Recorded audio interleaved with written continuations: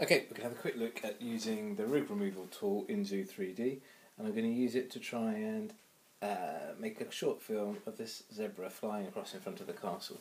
So to take the pictures, to save having to uh, try and press the keyboard or, or click the button at the same time, I'm going to use the time-lapse feature in 2 So that's down here, time-lapse, I'm going to set it onto one second and uh, I'm going to start it going, my, I've got my zebra over this side ready to go, so start it going. Now it's important we get a few frames before our rig goes in, at least one. Then as we move our character across, just let the time lapse take our pictures.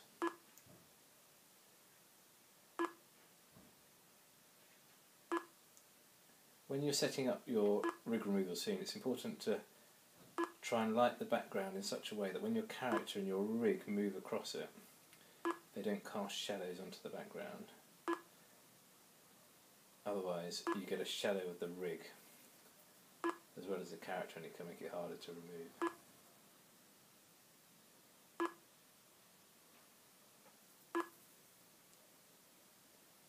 Okay, so that's good. We've got our frames there.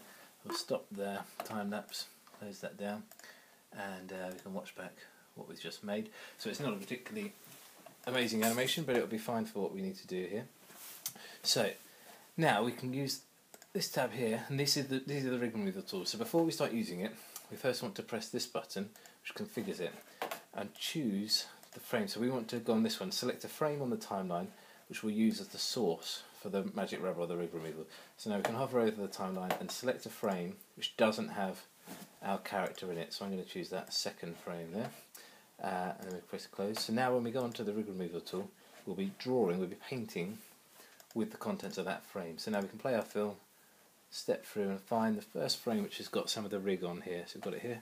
Now we can draw carefully over our film. We rub out that rig and then I'm just going to use the arrow keys to step through and frame by frame we rub out our rig.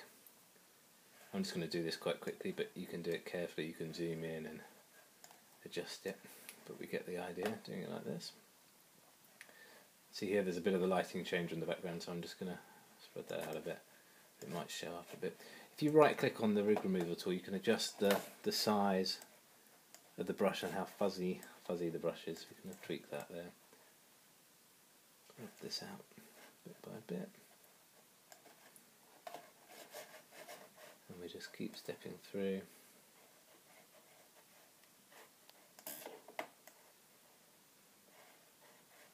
Rubbing it all out. Rig removal works best if you've got a complicated, interesting background. If you've just got a still single picture, you're probably better off using green screening tools and then taking the background away and importing the background in afterwards. When you've got a, a three-dimensional, interesting background like this one here, that's when rig, rig, removal works best because it breaks up the shadows and the lights.